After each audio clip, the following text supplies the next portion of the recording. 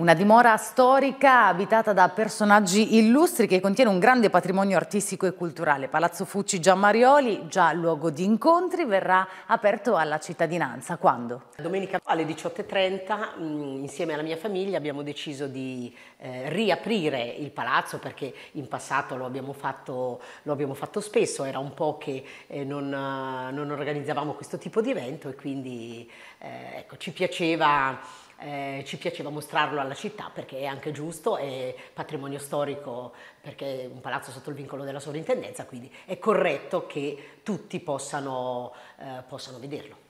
Chi vive in quel palazzo e chi ci ha vissuto?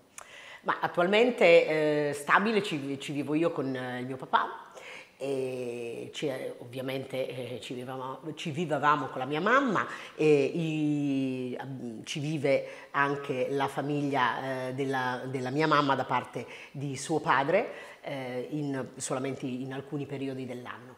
E, ehm, beh, ci sono stati, sì, eh, hanno girato diciamo, personaggi illustri. Nel palazzo, mi viene in mente il luogotenente di Marcantonio Colonna, eh, piuttosto che ecco, in, in, famiglia si parlava eh, spesso di mio nonno che intratteneva, eh, intratteneva rapporti con Carducci, eh, quindi insomma, e poi questo non, ovviamente non a palazzo, ma, eh, ma abbiamo in famiglia un, un, Celestino II, un Papa, eh, che non è il, il, quinto, che è il Papa del Gran Rifiuto, ma è un Papa che per breve tempo eh, insomma, ha, tenuto, ha tenuto il, il, papato e quindi insomma, in famiglia abbiamo anche un Papa, non notissimo, però c'è.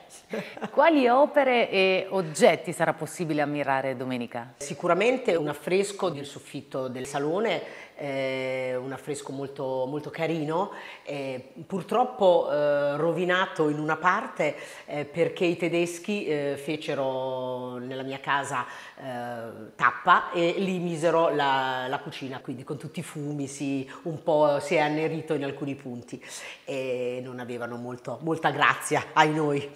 Eh, ecco, e poi vabbè, qualche chicca, tipo un ombrellino del Settecento parasole, eh, piuttosto che un libro molto bello che è un erbario del Seicento, eh, insomma qualche, qualche chicchettina ve la faremo vedere.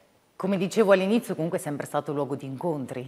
Sì, assolutamente. Magari eh, sono grandi paroloni quelle che ci siamo dette, ma in realtà la mia casa è sempre stata aperta veramente a tutti, eh, senza belli, brutti, alti, bassi, neri, bianchi, gialli. L'importante, brave persone. Quali bei ricordi conserva del passato?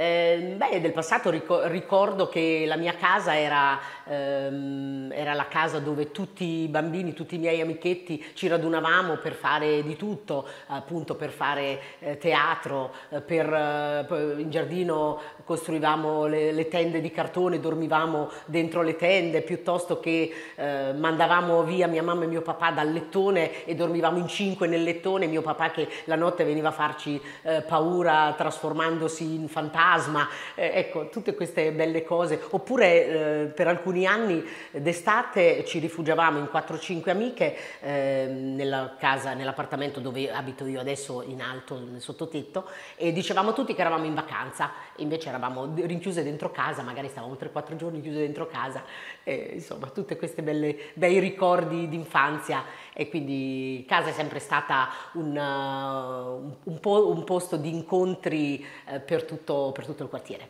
E lo sarà anche domenica prossima? Assolutamente sì.